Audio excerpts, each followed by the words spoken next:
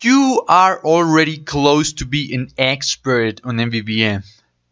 You've already learned how to use the I notify property changed interface, how to use the I command interface, how to use the I command interface using parameters. It's time for us to talk about one other interface, one of my personal favorites, the I value converter interface.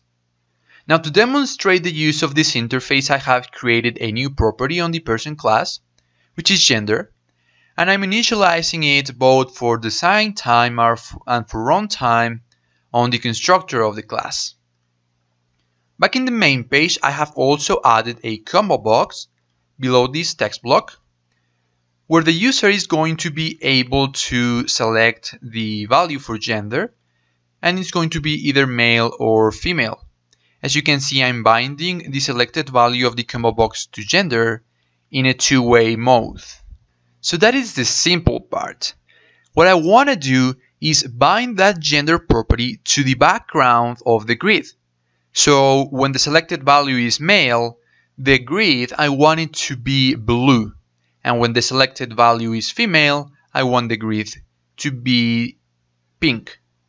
So how do I bind a string to a solid color brush in this case for the background.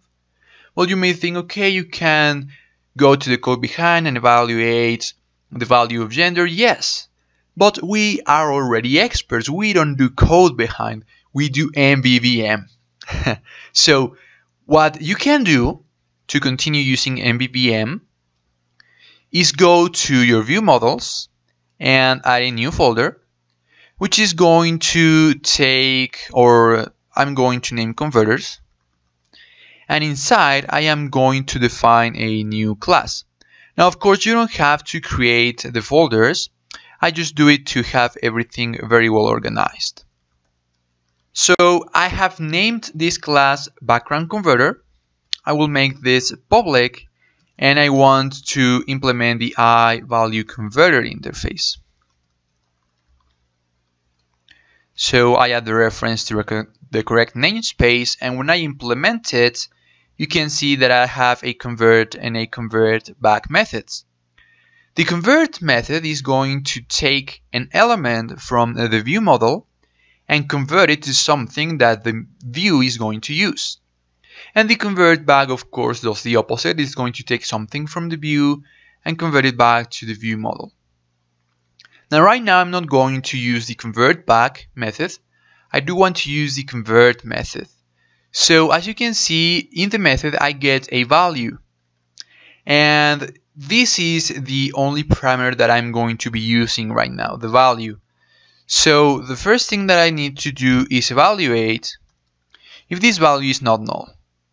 So it is not, if it is not null, I will do some more evaluation. But if it is null, I will return null. Now, if the value is not null, I want to start evaluating. I will get the value to string because what I'm going to get, remember, is the string, either male or female.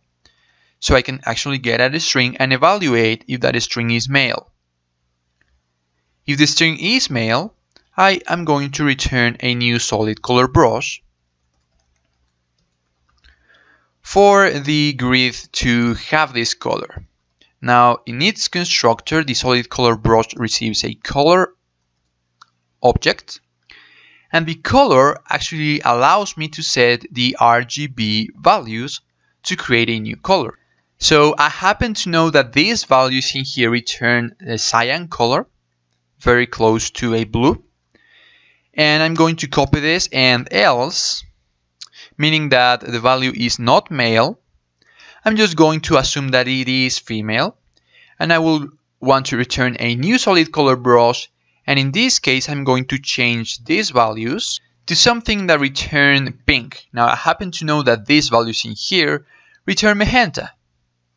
So my value converter is ready. The next thing that I want to do is head back to the main page and I want to add a reference to the namespace where the converters are. Okay, and let me just build my solution. to the compiler to know all of the classes inside of that namespace. And I'm going to add a new resource to the background converter. And I'm going to call this just converter. Like this. And so in the background of the grid, I want to bind the background to the gender property. So I do this like I've always done it, like this. But I also need a converter because I cannot bind directly a string to a color. So I need the converter. And I happen to already have that converter in here. So I access it through the static resource. And as you can see, immediately the changes are applied because on the sign time the value is male. And so you can see the cyan color right here. Now let's go ahead and run this just to prove that everything is working correctly. And as you can see, since on runtime the default value is female, the background is that pink magenta color. So I can actually change the value in here back to male and the color changes with it. It's really just beautiful. So great! Now you also know how to use the iValue converter interface to change values from the view model to the view like changing a string to a solid color brush. It's just amazing. So without further ado, I have to encourage you again to go and check my Windows Universal App Development course. Now we will be covering everything about MVVM here on YouTube in the coming videos. But if you want to learn just a lot more about other stuff regarding Windows Universal App Development, go ahead and check this course. Like I said, during the course, we talk about a lot of things, not only MVVM.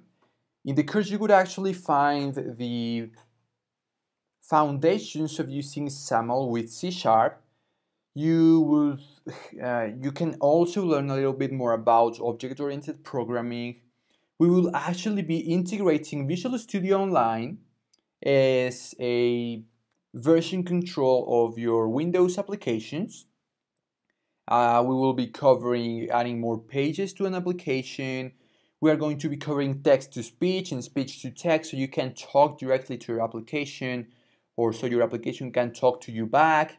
We're going to take pictures with your application. We're going to use persistence with application settings and SQLite databases, notifications through the live tiles, HTTP integration, this MVVM course, um, Azure, sharing code between platforms, a lot of things.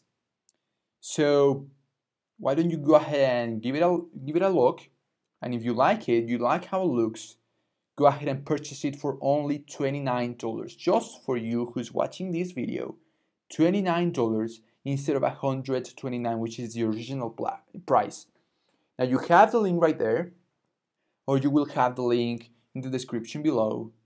Just make sure to check it out and start getting ready for Windows 10.